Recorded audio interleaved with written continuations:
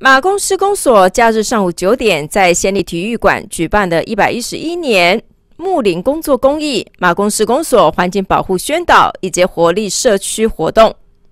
共有二十支队伍报名参加，一样进行往年最刺激的拔河比赛，由市长叶竹林主持开幕典礼，市民代表会主席许国正等来宾也到场加油打气。活动一开始，由马公乐龄学习优质中心以及西卫社区的妈妈们的舞蹈表演，为活动揭开序幕。市长叶竹林也下场与妈妈们一起热舞起来。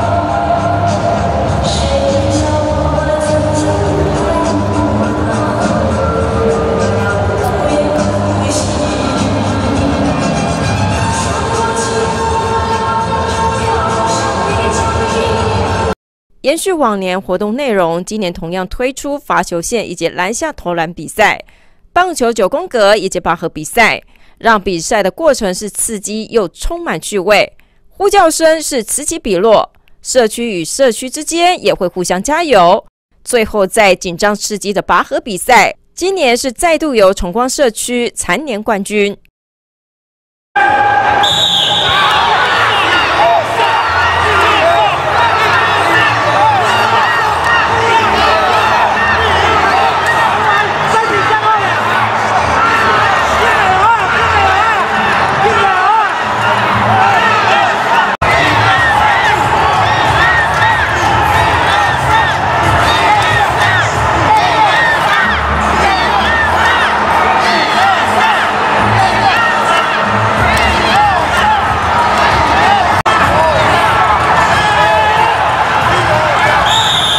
市长叶竹林也表示，借由举办活力社区活动，让大家体会到团结就是力量，身体健康才是永远的财富。期望大家团结一致，面对疫情挑战，环境健康，身体才有保障。借由活动提升大家身心健康的同时，让各社区之间互相交流学习，搭起友谊桥梁，一起建构马公为温馨又幸福的城市。